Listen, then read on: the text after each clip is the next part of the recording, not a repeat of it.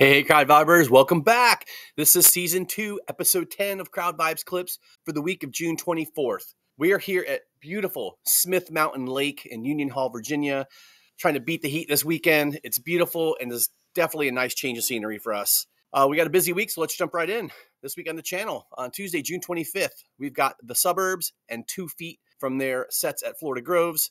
And then on Friday, June 28th, we've got the openers from the Movement Show in Wilmington. That's right, slap on a huge smile. It's KBong and Johnny Cosmic. Those guys are a lot of fun on stage.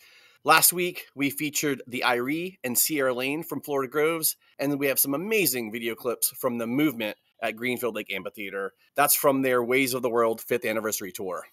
Who's ready for some new music? It's time for Crowd Vibes Tunes of the Week. New album alert! New album alert! Bumpin' Uglies released a new album called Lyrics Over Everything, and it's got some bangers on it. Go check it out.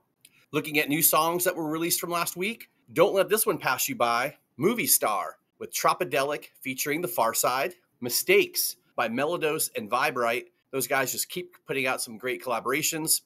Daydreaming by Stylie featuring Kash'd Out and Kyle Jerome is another one for you to check out. And last but not least, there's 30 minutes of Carter Reeves with Surfer Girl at the Sugar Shack pop up session from Reggae Rise Up Florida. Looking ahead at the concert calendar, Kash'd Out and Dale and the ZDubs are doing a run in our area. We might be making a road trip. They're going to be in Richmond, Virginia on June 26th, Kill Devil Hills, North Carolina on June 27th, and Charlotte, North Carolina on June 28th. Well, that's it for this week. If you like the crowd vibes, smash the like button, share your favorite videos, and subscribe to get alerts for new stuff. Thanks, y'all. Enjoy the crowd vibes. I think I'm going to go jump in the lake. Looks pretty amazing.